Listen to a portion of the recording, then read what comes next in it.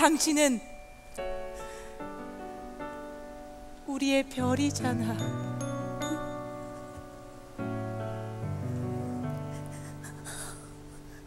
아직도 그럴까?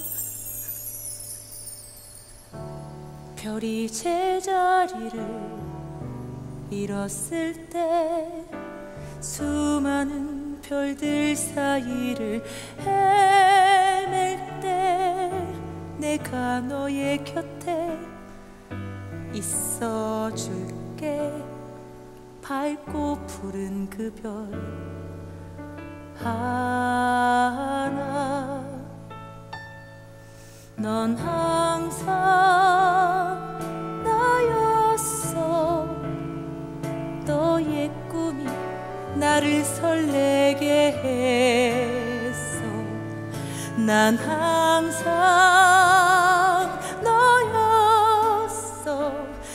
손을 잡은 너를 따라 멀리 뛰어도 조금도 숨차지 않아.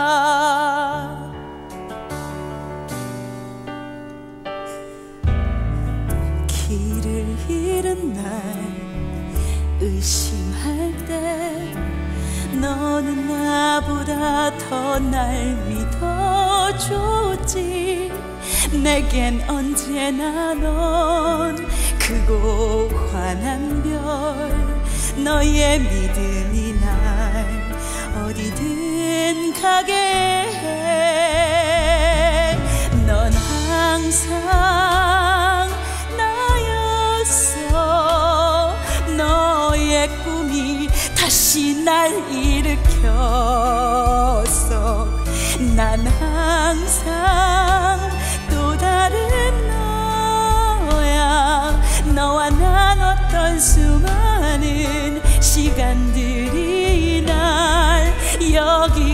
지 데려